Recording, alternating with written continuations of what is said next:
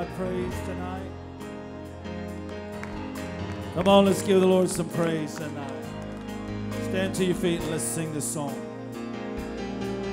As I come into your presence, past the gates of praise, into your sanctuary, till we're standing face to face.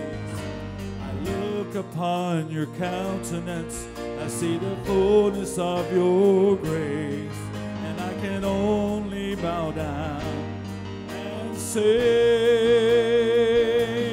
You are awesome in this place. Mighty God, you are awesome in this place. Abba Father,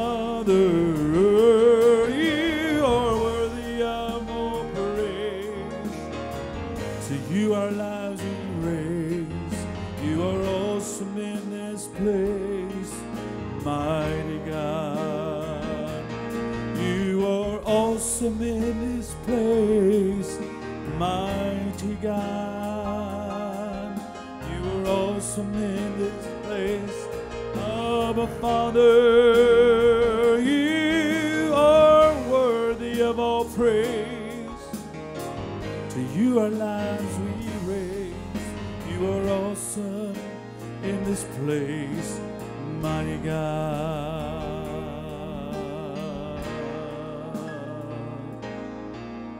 When I think about the Lord, how He saved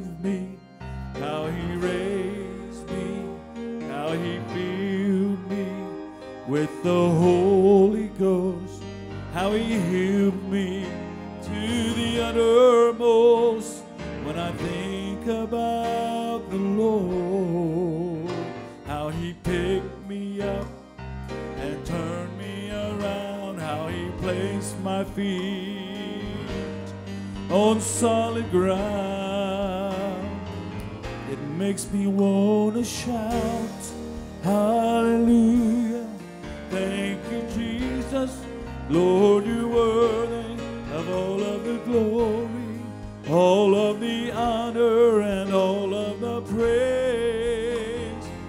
Makes me want to shout, Hallelujah. Thank you, Jesus. Lord, you're worthy of all of the glory, all the honor, and all the praise.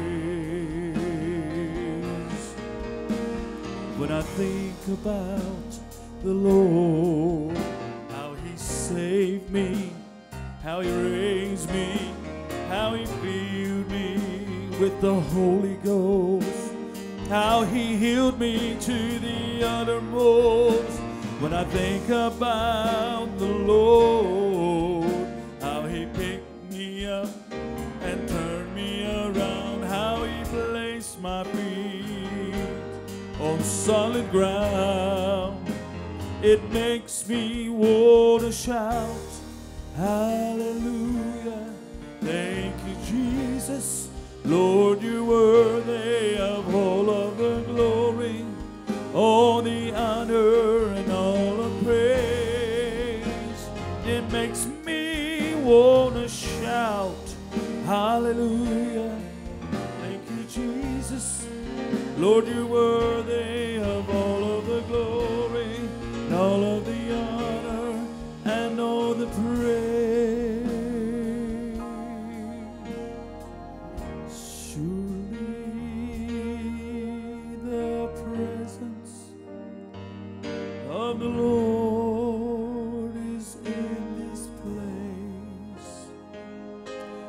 You feel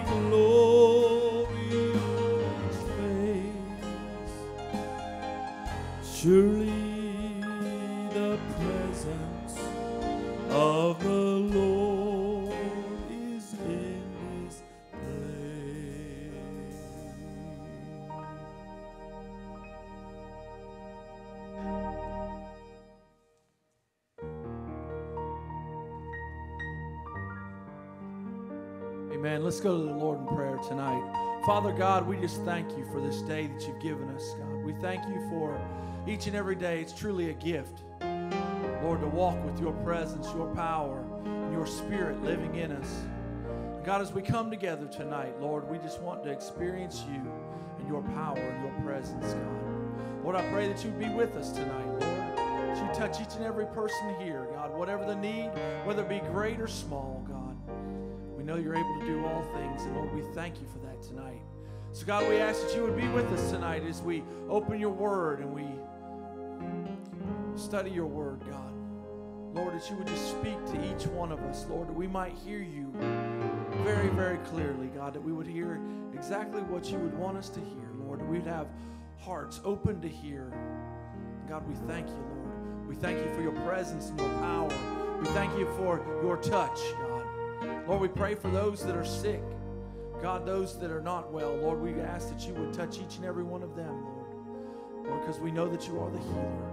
So, God, we thank you, Lord. We thank you for everything. And it's in Jesus' name we pray. Amen. Y'all may be seated. Amen. So I reckon we need to do a few little announcements here, right?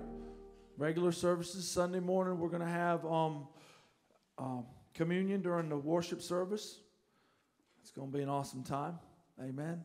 It's always a good time when we come together to worship God, and especially when we celebrate communion. So we're looking forward to that. We're also looking forward to send off our missionaries on Sunday morning. Praise God. They're leaving the 26th. So uh, definitely be in prayer for them. But we're also we're gonna um, we're gonna send them off on Sunday morning um, with with uh, the blessing of the church, and that's going to be exciting. Um, we're just looking forward to good things. Remember, we're going to have a watch night service on New Year's Eve, which is another, what, a week and a half away at 10 p.m. We're going to start with a baptismal service. We're going to do some baptisms, and then we're going to go ahead and have some food and some fellowship. And I guess we may even have a live feed from Ru- Rwanda, right? We're going to try to work on that and see if we can't get a get a live feed here on New Year's Eve while they're over in Africa. That they're going to try to, uh, you know, greet us. I guess I'm not sure how this is going to work, but we'll uh, we'll see. We can work it out. It's only half a world away, but I'm sure we can figure it out somehow. Praise God. So we're excited about that. Keep all those things in mind as you go through your days um, ahead. If I could, if I could go ahead and get the ushers to come forward for the offering this evening, then we'll go ahead and, and get into the Word of God tonight.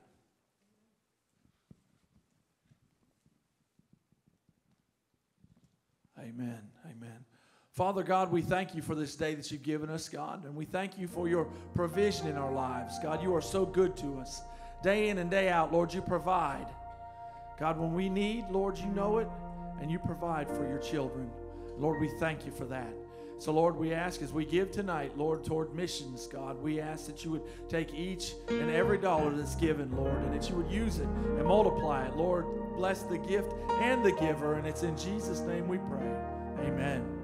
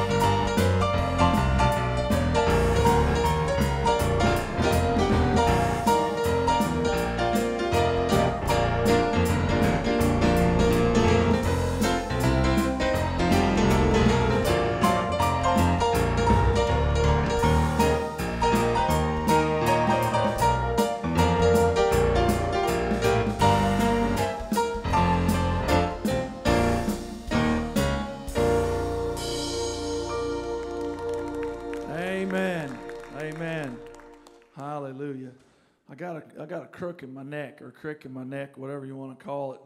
So y'all be praying for my neck. I'm gonna tell you now. It's just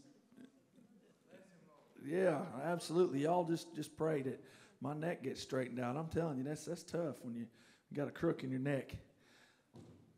Hebrews chapter six. We're gonna go ahead and get on in there a little bit. Last week we got into some of the some of the heavier and weightier issues of um, Hebrews chapter six. And, and now we're going to go on even further. The beautiful thing about the book of Hebrews is it talks about how Christ is better than everything. Amen. He's better than anything and everything. He's the great I am. He's awesome. He's powerful. He is the high priest. He's a prophet, a priest, and a king. He's all the above. He's everything we need. He's our all in all. And so as you read Hebrews, the, the argument is being made throughout the whole book that you don't need to go back to the Jewish law because you have the fulfillment of the law, and his name's Jesus Christ. And that's where you need to be. And so we need we need to absolutely remember that the whole time as we as we go through Hebrews that they're always making a case for Christ. The whole book, if you go through over and over and over again, it's making the case why Jesus is better why Jesus is greater, why Jesus is higher, why Jesus is more awesome. And that's an awesome thing about the book of Hebrews that it's all about Jesus. Everywhere you look in here, it's going to point to the Messiah. And so we're, we're just, um, you know, I, I just love I love this book. It's really good. I'm learning a lot as I study because, see, I have to teach y'all. In order for me to, to teach you, I got to teach myself, right? I mean, that's the way it works. When you, anytime you have to teach, why you have to actually um, teach yourself along the way to make sure that you understand in order to be able to teach. So we're going to start in Hebrews chapter six, starting in verse 13, and I'm going to go ahead and read about seven verses and then we'll break it all down and, and go from there and, and kind of get in there and chew on this this book is so full of um of wisdom and knowledge and, and we need we really need to uh, to, to savor it and, and go through it um, in a way to where we can just uh, savor every morsel. So it tells us in chapter 6, starting in verse 13, it says, For when God made a promise to Abraham, because he could swear by no one greater, he swore by himself, saying, Surely blessing I will bless you, and multiplying I will multiply you. And so after he had patiently endured, he obtained the promise. For men indeed swear by the greater and an oath for confirmation is for them an end of all dispute. Thus, God, determining to show more abundantly to the heirs of promise the immutability of his counsel, confirmed it by an oath, that by two immutable things in which it is impossible for God to lie, we might have strong consolation, who have fled for refuge to lay hold of the hope set before us. This hope we have as an anchor of the soul, both sure and steadfast which enters the presence behind the veil, where the forerunner has entered for us, even Jesus, having become high priest forever, according to the order of Melchizedek. We um, that is an absolute mouthful right there, is it not? I mean, when I read through like that, I don't understand a word. All I understood was Melchizedek, because that was the last thing I said. Other than that, I, I, don't I don't get it. So I've got you got to slow it down. You have to take take the word of God out and you have to savor it. You have to you have to break it up. You have to let it soak in. There's a lot of ways that we can study the word of God. One way that you can allow the spirit of God to speak to you, and I don't know some of you may do this already, but if you'll just take a couple verses every day and just read them out loud and just meditate on it and allow God to speak to you what he wants you to know. Or hear through those words. And just let it you know just read it out loud. Because there's something about about the word of god being read out loud that it, it, it ministers to us. And it just it just you know and god brings things to our to our knowledge um, through it. So i want to go ahead and start in verse 13 um, it tells us in verse 13 it says for when god made a promise to abraham I, I want you to want you to think about the promise. He said, "Surely blessing I will um, um, bless you, and, and multiplying, I will multiply you. God made a promise to Abraham. I mean, that was that was a promise that He made to him. He said that his his his ancestor, his his seed, was going to be greater than than the stars that he could see in the heavens. This was an incredible, incredible promise that He made to Abraham. But I want you to understand that that this promise that He made, it was not only to Abraham, but also to all of us. As His seed, we're heirs and we're part of the promise. See, a lot of times we don't realize that we're part of the promise.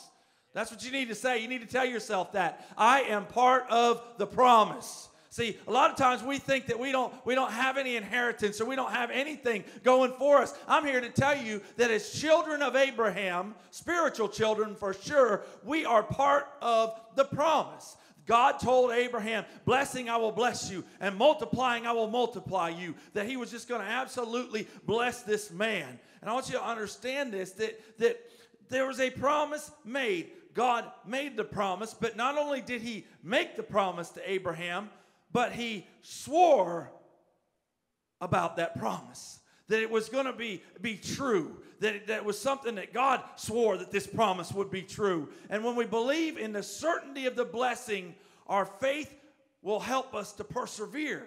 See, a lot of times we, we think that sometimes that God's against us, He's not for us.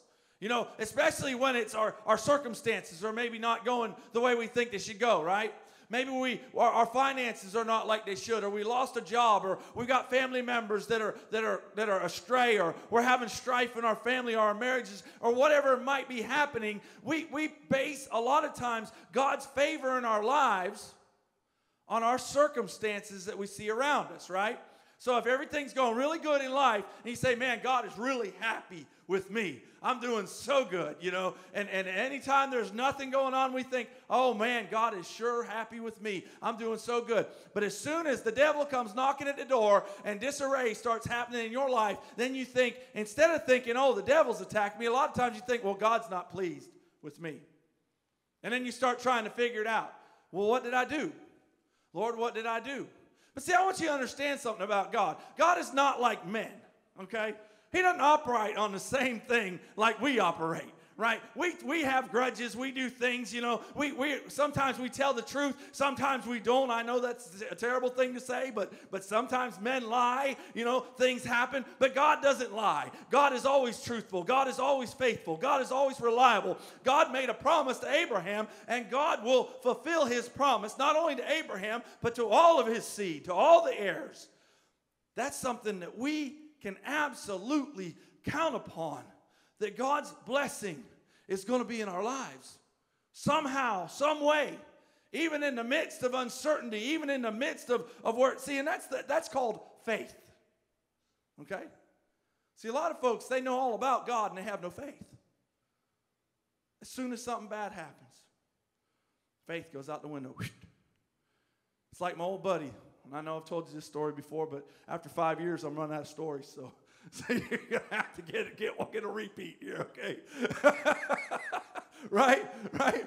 But it's like my old buddy, you know, faith. Faith, if you if you use faith, man, it's a powerful and a mighty thing. If you believe the promises of God, then even in the midst of the, the storm, why you know that look, God's blessings coming through this somehow, some way, God is going to use this. Well, see, when we used to work up on the roofs in Pennsylvania, why the wintertime was kind of treacherous because we had something up there, unlike this, this uh, wet uh, Christmas we're having here, we had white Christmases there, and they usually started about October. And so when you got on the roof and it got slick, there's some snow up there. I'm here to tell you if you didn't sweep the roof off good, you were going off the roof. Well, we were up working on the roof, and my buddy looked at me, and I looked at him, and he had him a straight claw hammer, and I had a curved claw hammer. And he said, Son, he said, that won't never work. And I said, well, What's wrong, Jerry? What's wrong with my hammer? He said, You got a curved claw hammer. I said, Well, I don't understand. You got a straight claw, I got a curved claw, big deal, you know. What's the problem? He said, Well, no, you don't understand. He said, When when when you start sliding down this roof, if you start slipping, man, you take that straight claw hammer, you just dig it in and it'll stop you right there. And I said, okay, well, yeah, that makes sense. I said, I, I, reckon I need to get me a straight claw hammer too. Well, as we worked later that day, and it was kind of slick up there a little bit, next thing I know, I see Jerry turn around and start sliding down the roof. And you know what he did with his hammer? he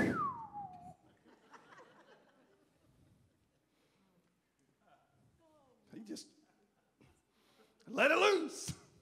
And I'm sitting there thinking, well, that did you a lot of good, didn't it? Straight claw, curved claw, no claw. Didn't matter. Praise God, he stopped before he went off the edge. But that's like faith, folks. Most of the time, when something terrible happens, the first thing we do, instead of holding on stronger to our faith, we just let it go. God's made incredible promises, and we need to understand that we are part of this blessing that He promised to Abraham and he tells us that. It says, in there as we read this down a little more. For when God made a promise to Abraham, because he could not swear by no one greater, he swore by himself. So God swore by himself that surely blessing I will bless you, multiplying I will multiply you. And then it says in 15, and so after he had patiently endured, he obtained the promise. I want you to think about this for just a second. After he patiently endured, he obtained the promise. What was Abraham promised?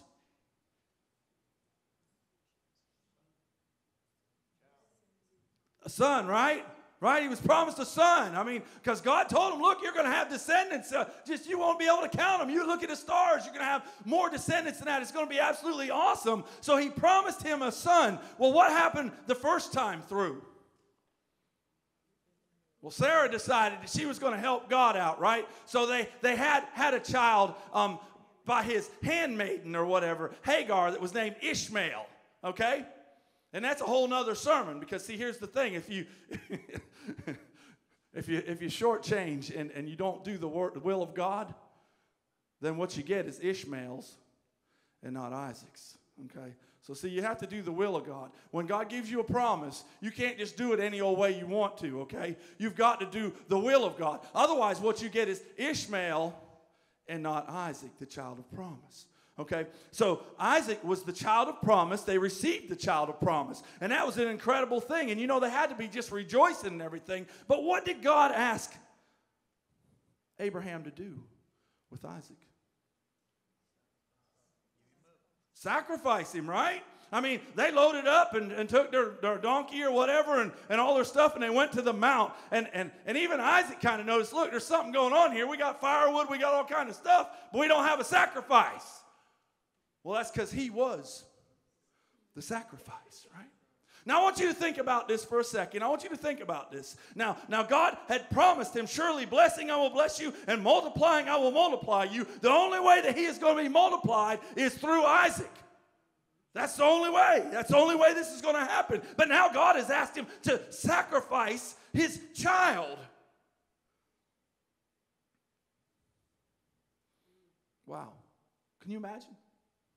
Can you imagine? That's the child of promise. That's, that's him. He's the one. Yet God asked him to sacrifice him on the, altar. I mean, now, now I want you to, to notice something. Here, here's, here's something in, impressive about this is a lot of times God wants to see, you know, how, how serious are we? How, how much do we really love him? How, I mean, if he calls us to obedience, remember, I mean, you know, that we, we need to be obedient and, and how, how, how much do we trust God? Because I want you to think about the mindset of Isaac or the mindset of Abraham for a second. I mean, I, and then this is what I think his mindset was.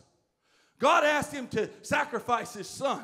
So, what I think that Isaac, or Abraham thought was that God would raise Isaac from the dead. Right?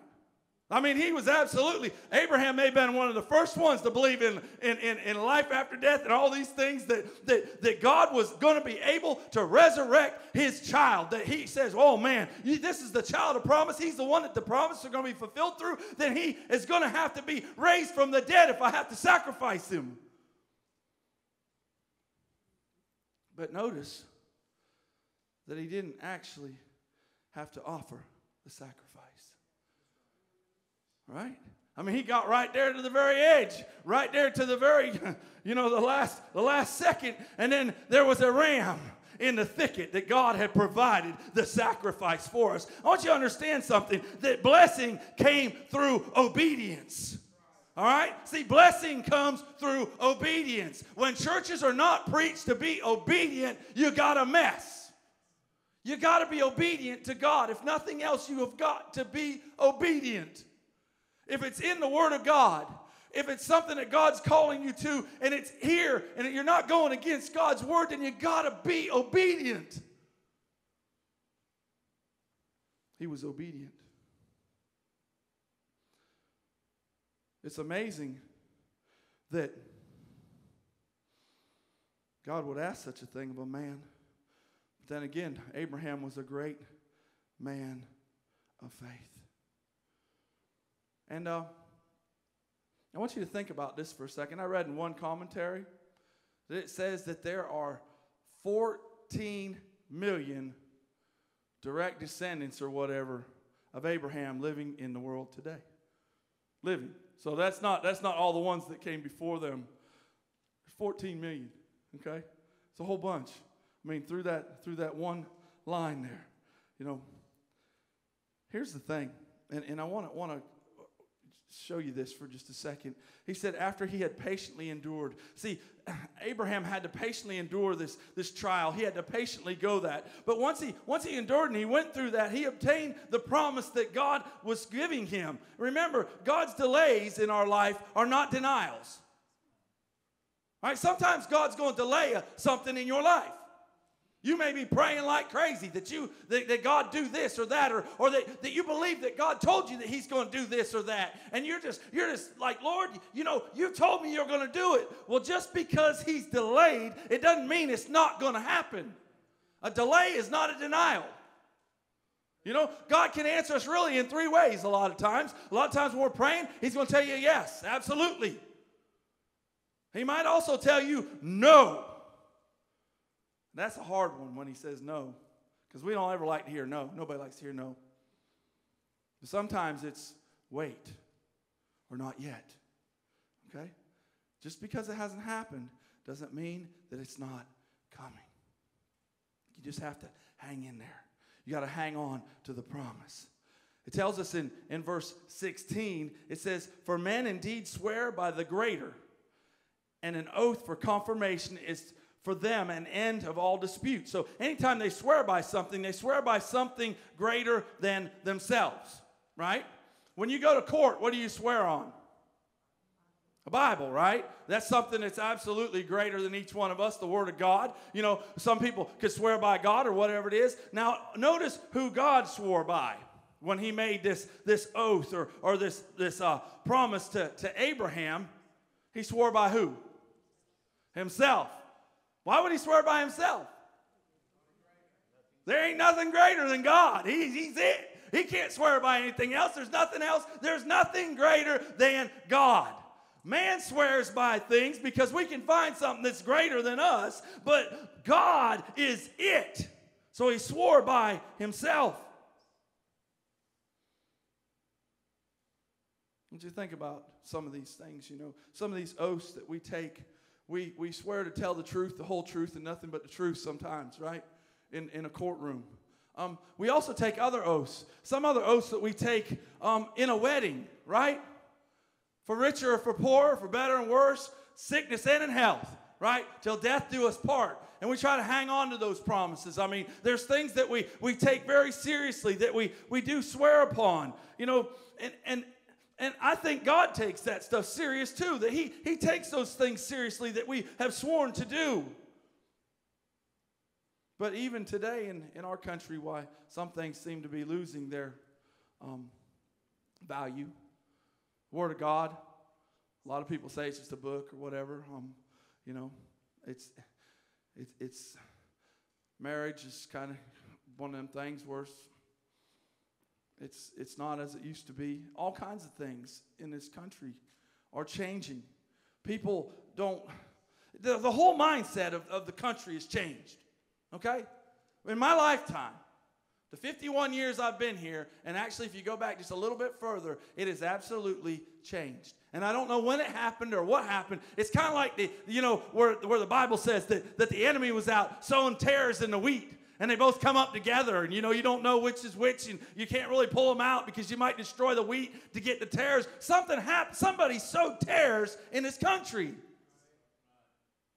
I mean regardless of your your uh, your, your politics or whatever a man named jfk way back when asked a question. He said ask not what your country can do for you but ask what you can do for your country. You guys remember, I know a lot of you were alive, probably even heard it um, way back when, you know, watched it on TV. Uh, now in our country, it's ask not what you can do for your country, but ask what your country can do for you. See, we've totally flipped it around. And I'm not gonna I'm not gonna beat up lawyers or anything because because you know everybody needs profession and there's no nothing wrong with lawyers. But something changed when they started allowing them to advertise on TV. All of a sudden, every time that anybody slipped, uh, fell, any doctor made an honest mistake, or anything that took place, there was somebody waiting to either mail you. See, I can always tell when my kids get in trouble. Praise God for that, that part. Okay? Because I always know when they get in trouble. Because within about three days, I go to the mailbox and I have 37 letters, you know, for lawyers that represent folks for traffic tickets or this or that or whatever. And then I start going down the line. Jackson, did you get a ticket? You know, Dennis, did you get a ticket? Alec, did you get a ticket? Somebody got a ticket. I don't ever ask Gina because you know, but but anyways, because she doesn't get tickets. But but I mean, somebody got a ticket. So I'm getting a mailbox full of these things. But that's the nature of our society now. We, we're not about the country anymore. We're about individuals. We're becoming more and more and more individualistic. And see, and that's not just in the country, that's crept in to the church. That people now, and, and gosh, that's not even on the paper, you're fixing to get a little bit of what kills me about people in churches is they go looking for the perfect church. They want a church that has the perfect youth ministry. They want a church that has the perfect singles ministry. They want to have a church that has the perfect music ministry, the perfect pastor, and a pastor that's funny and good looking and possibly young and wise all at the same time. Oh, oh my goodness. I love it. I love it. I love it. But the thing is, is that we shop churches like we're going on to the mall to find the cheapest dress or the cheapest pair of pants or the ones that you like the best. And that cheapens the church. People are not committed to their church. They're committed to what which church can fulfill my desires or my needs the best. And if that church doesn't fulfill it, I'm out the door and I'm going to find one that will. Right? And I'm not, I'm not throwing stones. I live in glass house too. But I'm just saying that everybody all the time, they're looking for something that, whether it exists or not. How about we do this? How about we join a church and we do it like we're supposed to do marriage?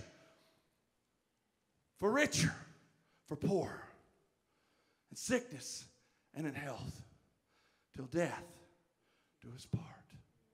Wouldn't that be impressive if people joined the church and said, Man, you know what? We may have good preachers, we may have bad preachers, but I'm staying through them because I know that's my church. We may have great Sunday school teachers. We may not have great. We may have great music. We may have terrible music. We may not have the best facility. We may have the greatest facility. But whatever we've got, God's given us, and He's planted me there. And by God, I'm staying put. I mean, that's the kind of that's the kind of mindset that we need. See, we so many times we we're, we're chasing something, first of all, that doesn't exist. You know, there's a dream out there. There's, a, there's something that's like the, the perfect whatever, and I hate to tell you, but it doesn't exist. If you're looking for the perfect husband, you'll never find him. If you're looking for the perfect wife, you'll never find her either because there, there are no perfect people. There's no perfect marriages. There's no perfect children. There's no perfect jobs. There's no perfect anything in this world. It's fallen way back when. And we need to start hanging on to what God does in our lives and, and where He puts us. We, we need to, to, to be men and women of our word, right? Let our yes be yes and let our no be no. Real simple. Not double minded, not this, that, and the other. Just, just be like that. All right, now that we've chased that rabbit, I, I think I killed him and skinned him. So we're going to go ahead and, and go on. Verse 17 Thus God, determining to show more abundantly to the heirs of promise the immut- immutability of his counsel, confirmed it by an oath, that by the two immutable things in which it is impossible for God to lie, we might have strong consolation who have fled for refuge to lay hold of the hope set before us. We can absolutely believe that God doesn't lie.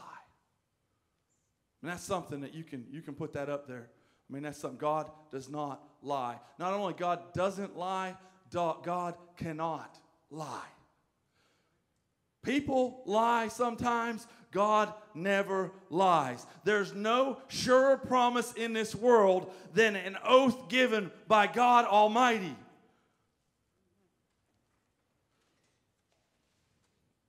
And how sure can we be of the promises that God has given us? Because He gave an oath.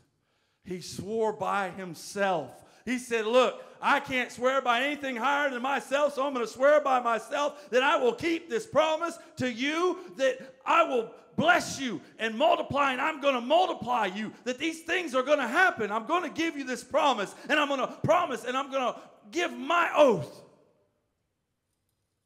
We can have no doubt in what God says. It's the truth. It's the truth. He gave us two things his promise and his oath. And that's the thing about God. All things are possible with God, but he cannot lie. Right? He can't go against his, his character. He can't go against who he is. And, and the thing is, is that we can take refuge in God, knowing that his promises are true. We can flee to Jesus for refuge. How many times have we have we have we needed somewhere or something, or we felt like we just needed to be able to, to get away from all of this for a little bit, or, get away from that, or whatever it is, to where we felt like we just needed peace, you know, peace like a river, to where we, we just needed it so where we could just absolutely get away from things. The Lord Jesus Christ is supposed to be a refuge for the believer. You understand what I'm saying? He's your refuge. He's your high tower. He's your place of hiding. He, he's that place that you can go to where the whole world can be out there ripping and raring, and you can get in Christ and just be in the, the refuge of God. And there's times where we need the refuge. And, and the beautiful thing is that we can take refuge in God, knowing that His promises are true, that everything that He tells us is true, that we can read the Word of God and know that it's true beyond a shadow of a doubt. Verse 19, I love this. It says, This hope we have is an anchor of the soul, both sure and steadfast, and which enters the presence behind the veil I want you to think about this for a second. The anchor. We have this hope as an anchor for the soul. Our anchor, Lord Jesus Christ, is our anchor that keeps the soul steadfast and sure while the billows roll. I mean, he's, he's the rock. He's the one that we can hang on to. See, there's so many things in this world that are changing. A lot of things are like shifting sand. We never know what's going to happen one way or the other. But Jesus, He's the anchor for our soul. We got to hang on to Him, church. So many folks, they, they have, they know all the belief. They've got all the head knowledge, but they don't have the heart to hang on. I want you to think about anchors for a second. I've been out, I've been out fishing before. Me and Robert, we've gone out a few times. Robert always caught all the fish. I just brought back stories. But uh, there was times where we needed to set the anchor. And you chunk that anchor off the boat. The beautiful thing about an anchor is that if you can get it set, it'll hold. I don't care how hard the current's flowing or what's going on. If that anchor's set, it will it will hang on, it will hold. Can I tell you something about the anchor though? When we were in the strongest waters, the strongest currents, to where I just didn't even know that it, that it might hold or not, and it was holding fast and firm, is that I couldn't see the anchor. I mean, I could look in that water, I could see the rope going down. I know the anchor was there. I mean, I could see the rope tight and it was pulling, and I knew that the current was really strong and it was trying to pull the boat. And but I couldn't see the anchor, but the anchor was holding. Church, I'm telling you, there's times where you can't see the anchor, but I'm telling you, if you'll hang on to Jesus, it will hold. But you got to hang on. You got to hang on. Sometimes I ask God, you know, Lord, why have I why have you allowed some of these trials and tribulations and and, and heartbreak and angry, anguish, and, and things come into my life. And, and, and uh, most of the time, you know what he told me? So that you'd know that the anchor will hold. You know, we gotta we gotta make sure that we're hanging on. Church, we gotta we gotta make sure that we have we have faith. It, we have a, this hope as an anchor of the soul that the promises of God are true, sure, and steadfast. I want you to think about this. It says, and which enters the presence behind the veil, where the forerunner has entered for us, even Jesus, having become high priest forever, according to the order of Melchizedek. Jesus has become the high priest. He entered the sanctuary behind the veil in the temple. I want you to I want to explain this just a little bit because if you don't understand what the temple's like, you won't understand what the significance of the veil is, okay? See, there was a holy place where the priests all ministered and everything, but then you would go behind the veil was the holy of holies. That was the holiest place. That was the place where they believed that the ark was there and, and, the, and, the, and God's presence dwelt between the cherubim on the ark. That he was there. And the thing was is nobody went in there except for the high priest one time a year. The high priest himself, first of all, he would have to sacrifice for his sin to make sure that he had no unconfessed sin in his life or his family's life. And then he could go in and take the blood and sprinkle it before that holy place. They had bells on his garments so that when, when, he was in there ministering, they could hear the bells ringing. They had a rope tied to him that if God would strike him down because he went in there with sin. See, that's the thing about sin, folks. You don't understand. Sin leads to death. Grace is life, but sin is death.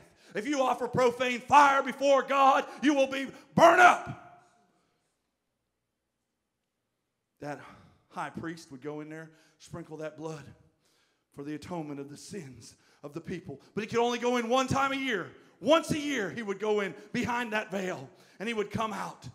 Jesus has become the high priest. And I want you to think about that for a second. That he he went in there, hallelujah. And, and see, they, they called the, that, that place in there the mercy seat of God.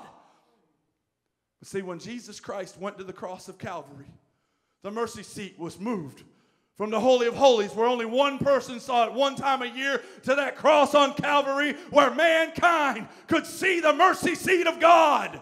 When you see a cross, you're seeing the mercy seat. That's the mercy seat of God right there. Run to the cross. Jesus became the high priest. He entered the sanctuary behind the veil. But he's not a priest of Aaron.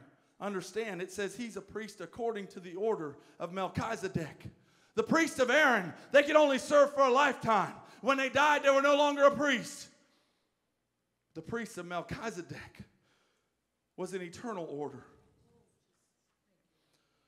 He served forever. And I'm not going to get too deep into Melchizedek.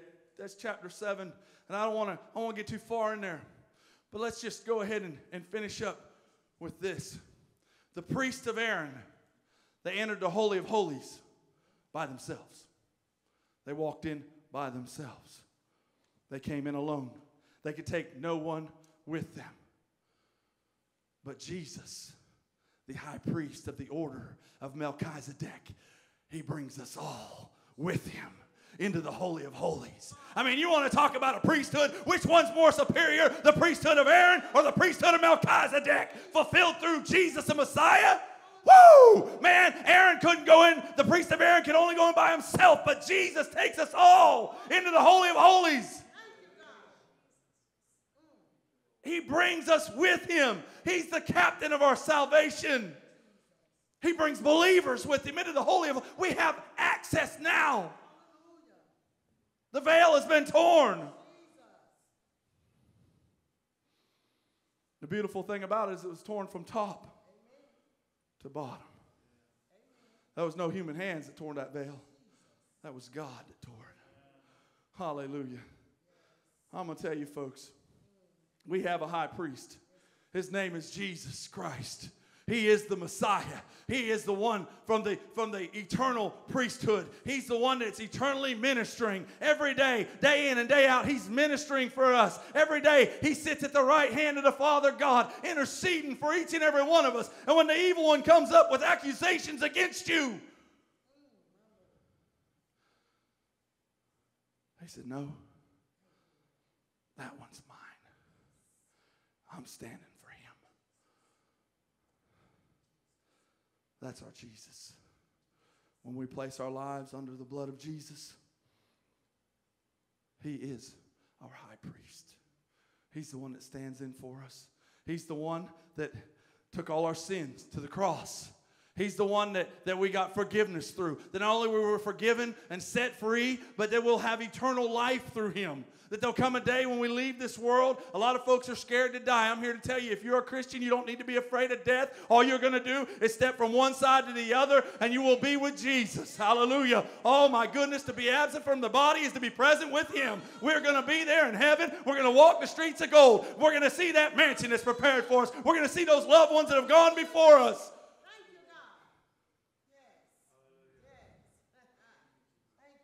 That's what Jesus can do for us.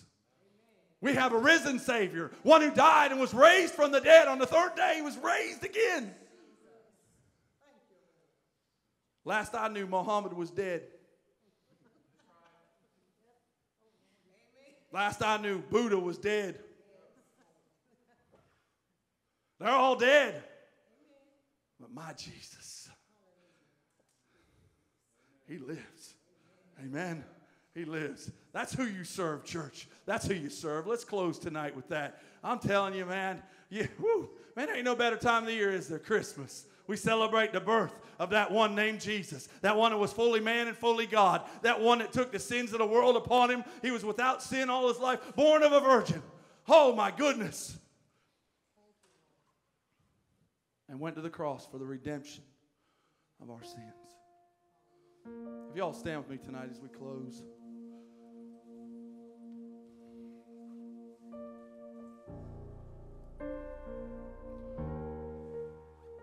As I preach Sunday,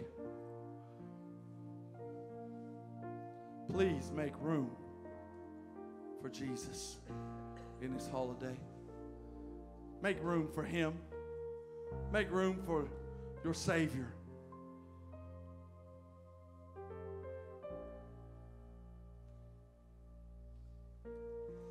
He's the one.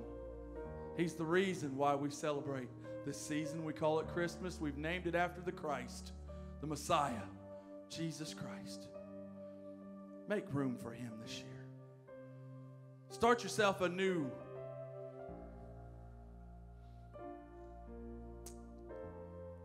Start a new way of doing Christmas this year.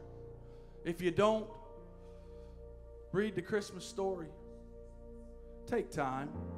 Just stop for like five minutes and say, Look, y'all, I, I know we, we're fixing to tear presents open. We're going to look like a bunch of Wolverines in here in a second, ripping these bows and wrappers and stuff flying everywhere. But stop for five minutes and read the Word of God to your family, to your children, to your grandchildren. To whoever's around you, read the Word of God to them and say, Look, you know, we're having fun and we like the lights and the bows and, and the trees and all that stuff, but this was about a babe that was born 2,000 years ago and they didn't have no room for, the, for him in the inn. So they stuck him in an old, old stable and wrapped him in cloths and put him in a manger because there was no room. But I want us to start a new tradition in our homes. You know, read the Christmas story over your children, over your grandchildren. Let them realize and know what the real meaning is in the season. Because I'm going to tell you something. If you don't teach them, nobody will. The world's going to teach them the other version. They'll never get the gospel. So let's close tonight in prayer. Father God, we thank you, Lord, that you are so wonderful. Lord, that you sent your son Jesus into this world because you loved us. Your word says you so loved the world that you gave your only begotten Son. that whosoever should believe. And Lord, we know those whosoever's are us. That we'd not perish, but have eternal life. God, we thank you for that. We thank you for the gift that you gave your son, Jesus, to this world, that we might be reconciled to you.